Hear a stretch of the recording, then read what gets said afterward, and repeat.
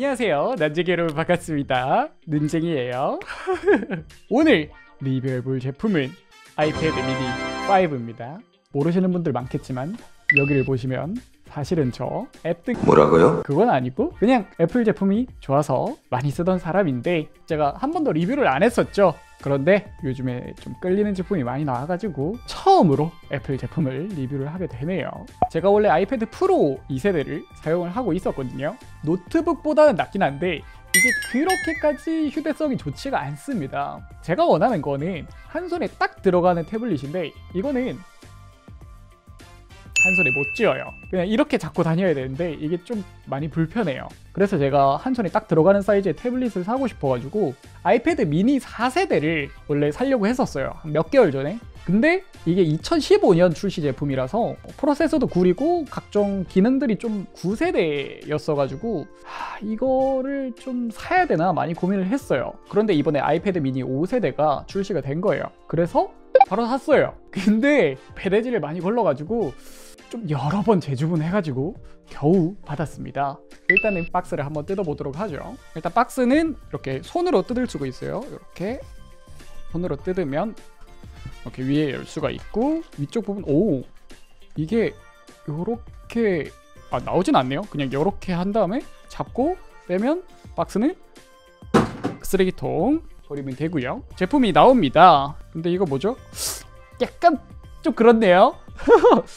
이렇게 딱 붙어 있으면 딱 좋았을 텐데. 아무튼 그건 그렇다 치고 제가 구매한 제품은 아이패드 미니 셀룰러 되는 버전으로 64기가 제품을 구매를 했고요. 지금 국내에는 아직 출시를 안 했는데 4월 12일자 기준으로 전파 인증이 통과를 했다니까 국내에도 곧 있으면 판매를 시작할 것 같습니다. 근데 이제 국내 공식 가격은 나와 있죠. 64기가 와이파이 모델이 49.9만 원 셀룰러 모델은 66.9만 원입니다. 제가 산 모델이죠. 그리고 256기가는 와이파이 모델이 69.9만 원, 셀룰러 모델이 86.9만 원입니다. 제가 휴대폰에 동영상 녹화를 좀 많이 하다 보니까 256기가 모델을 구매를 했었는데 아이패드로는 뭐 영상 찍을 일이 거의 없고 대부분 클라우드 서비스를 이용을 하다 보니까 그냥 64기가 모델로 구매를 했습니다. 기존에 쓰던 아이패드 프로 2세대가 셀룰러 모델을 사용했어가지고 이거를 이제 메인으로 안 쓰고 이거를 메인으로 쓸 예정이기 때문에 똑같이 셀룰러 모델로 구매를 했습니다. 저는 미국 공식 홈페이지에서 529달러에 구매를 했고요. 애플케어 플러스도 69달러에 구매를 했습니다. 물론 부가세하고 배송비 합하면 국내 출시 가격보다는 약간 좀 비싸게 구매를 한 거죠. 그럼 이제 제품을 뜯어봅시다. 여기 있는 비닐을 이렇게 벗겨주면 이렇게 제품이 아우 오 딱 들어가 있네요. 나오고요. 오, 오, 오, 어, 진짜 조그마네요. 그리고 라이트닝 케이블이 동봉이 돼 있고요. 각종 설명서 들어있는 거, 그리고 충전기는 모양으로 봐서는 12W일 것 같긴 한데 한번 봅시다.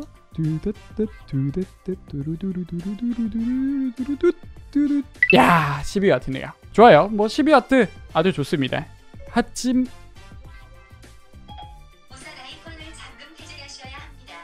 저리 가시리야.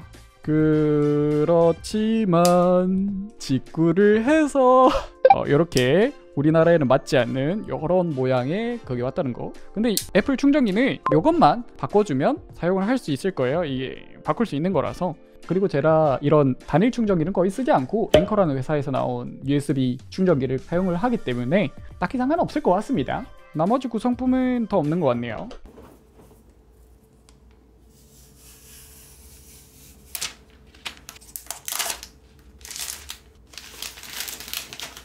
어우 좋네요. 아주 아름다워요. 이렇게 한 손에 딱 잡히는 사이즈 아주 좋아요. 제가 손이 굉장히 작은 편이라서 한 손에 안 잡힐 줄 알았는데 좀 아슬아슬하긴 한데 한 손에 잡히긴 해요. 제가 손이 좀 작은 편이기 때문에 크신 분들은 한 손으로 잡는데 크게 문제는 없을 것 같습니다. 오 이렇게 가까이 가져오면 새로운 아이패드 설정이 뜨고 잠금 해제. 오 새로운 아이패드를 들고 카메라를 향해 들고 있으라고? 이렇게. 일단 활성화를 했고 디자인은 뭐 기존에 있던 4세대하고 크게 바뀐 건 없다고 해요 그 대신에 후면 마이크가 여기 옆에 있었는데 이쪽 센터로 옮겨갔고요 그리고 여러분 가장 중요한 거 제 이름이 새겨져 있습니다 아이조컬 그리고 이렇게 새겨놨습니다. 요것 때문에 늦은 것도 꽤 있어요. 이제 중국 공장에서 이걸 새기는 것 같더라고요. 이제 이 아이패드는 아무도 훔쳐갈 수가 없는 아이패드가 됐어요. 그리고 나머지는 크게 디자인적으로는 볼 게 없고 아이패드 미니 5가 나머지 아이패드보다 훨씬 더 선명하거든요. 왜냐면 아이패드 미니 같은 경우는 6세대에 들어가는 똑같은 2048에 1536 해상도의 디스플레이를 탑재를 했고 인치 수가 7.9인치이기 때문에 혼자만 선명해요. 그래서 뭔가 딱 봤을 때 와 선명하다 라는 느낌을 받으실 수가 있습니다. 물론 이게 미니 5라고 그런 게 아니고 미니 4도 원래 이랬어요. 그리고 제가 아이패드 미니 5를 산 가장 큰 이유 중에 하나는 디스플레이가 P3 색영역을 지원을 합니다. 요즘 제가 색감뽕에 맞아가지고 모니터들도 DCI P3 90% 이상 지원하는 모니터들로 좀 보고 있거든요. 근데 이런 부분은 그리고 밝기는 500니트고요. 주변의 빛에 따라서 모니터의 색온도를 바꿔주는 True Tone도 포함이 되어 있습니다. 근데 디스플레이에서 한 가지 아쉬운 게 있는데 아이패드 프로에는 들어가 있는 120Hz 프로모션 디스플레이가 포함이 안 돼 있습니다. 이게 지금 카메라에서는 표현이 안 될 텐데 아이패드 프로는 진짜 부들부들하거든요. 근데 하... 같이 보면 진짜 차이가 많이 나요. 여러분들 컴퓨터 모니터 144Hz 사지 않습니까? 144Hz 모니터 한 번 쓰면 60Hz 모니터로 다시는 못 돌아간다고 하잖아요. 아이패드도 마찬가지예요. 아이패드 프로에서는 이렇게 부드러운 화면 보다가 미니로 이렇게 60Hz로 사용을 하려고 하면 조금 적응의 시간이 필요할 것 같아요. 디스플레이는 한 가지 아쉬운 거 빼고는 다 만족을 하고요. 아이패드 미니 4는 프로세서가 A8이 들어갔지만 미니 5는 10S 때 들어간 A12 바이오닉이 탑재가 됐습니다. 그래서 프로세서는 진짜 엄청나게 향상이 됐기 때문에 그거는 걱정 하나도 안 해도 될 것 같아요. 아, 물론 제가 그거를 엄청나게 체감할 정도의 작업은 하지 않아요. 왜냐면 전 아이패드로는 게임을 안 하거든요. 왜냐면 아이패드는 화면 비율이 4대 3이잖아요.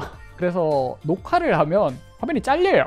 물론 이제 아이패드로 게임을 하시고 캠 같은 거를 빈 공간에 넣어가지고 이렇게 좀 꾸미시는 분들도 있으시던데 저 같은 경우는 그냥 16대 9 비율로 게임을 풀 화면을 보는 걸 좀 더 선호를 하거든요. 그래서 아이폰도 제가 두 개를 사용을 하고 있어요. 아이폰 10 그리고 아이폰 7 플러스. 그래서 아이폰 7 플러스가 16대 9 비율이기 때문에 이걸로 보통 게임 녹화 같은 걸 하고요. 아이폰 10은 게임 안 해요.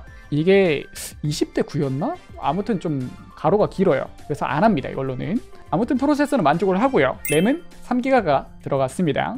그리고 한 가지 아쉬운 거 스피커가 하단에만 이렇게 두 개가 들어갔습니다. 상단에는 스피커가 없어요.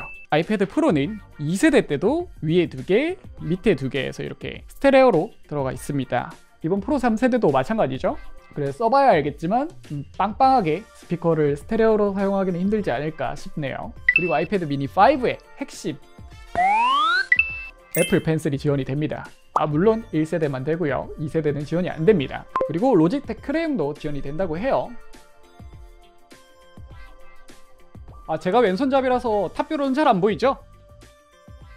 어, 잘 써지네요. 근데 지원이 돼도 저는 잘 안 쓸 것 같아요. 왜냐하면 이게 펜이 종이에 쓰는 느낌이 안 나요. 종이에 써도 제가 악필인데 여기에 쓰는 거는 거의 뭐 판이에요. 그래서 안 써요. 근데 Paperlike라고 액정 필름처럼 돼가지고 이제 그걸 씌우면 이렇게 썼을 때 약간 종이에 쓰는 느낌이 나게 하는 제품도 있던데 그거 나중에 한번 사서 제가 써보도록 하겠습니다 그리고 아이패드 미니 5를 산 이유 중에 하나 더 카툭튀가 아니에요 최고예요 왜냐면 아이패드 프로 보세요.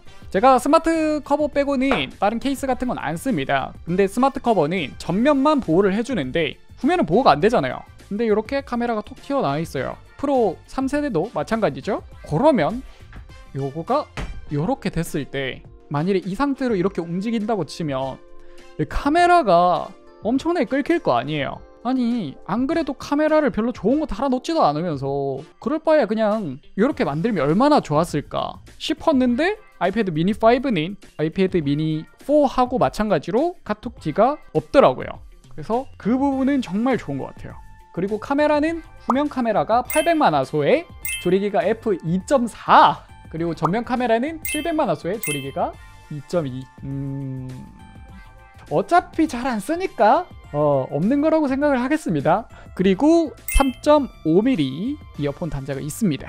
물론 저는 에어팟만 써서 딱히 없어도 상관없어요. 하지만 굉장히 유용하게 쓰실 분들은 많을 거라는 거. 그리고 제일 중요한 거 터치 아이디 2세대가 탑재가 됐습니다. 페이스 아이디가 없는 거는 조금 아쉽긴 한데 그래도 뭐 보급기니까 괜찮습니다. 그리고 무게는 와이파이 버전이 300.5g 셀룰러 버전이 308.2g인데 한번 재보죠.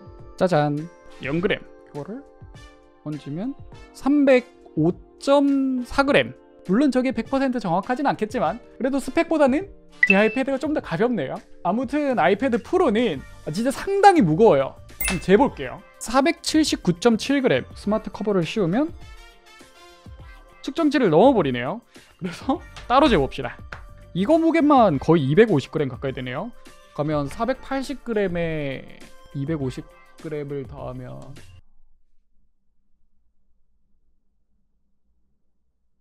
730g? 진짜 무거운 게 맞습니다. 이거의 두 배보다 더 무거워요. 진짜 이거 계속 들고 있으면 팔목이 아픕니다. 근데 이거는 상대적으로 엄청나게 가볍다는 거. 거기다가 아이패드 미니 5는 스마트 커버만 있고 키보드형 스마트 커버는 없어요. 그래서 조금 더 가벼운 케이스를 장착을 할 수 있겠죠.